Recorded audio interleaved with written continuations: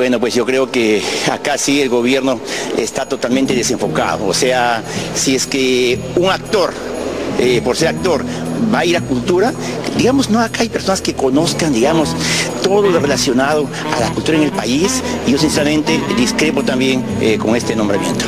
No, pero el actor obviamente tiene que estar en su función de actor. Él tiene, eh, en cultura, tiene que conocer un bagaje muy amplio, por lo menos de todas las culturas del país. Bueno, como digo, para mí el hecho de que sea actor no le da la experiencia necesaria para esa cartera.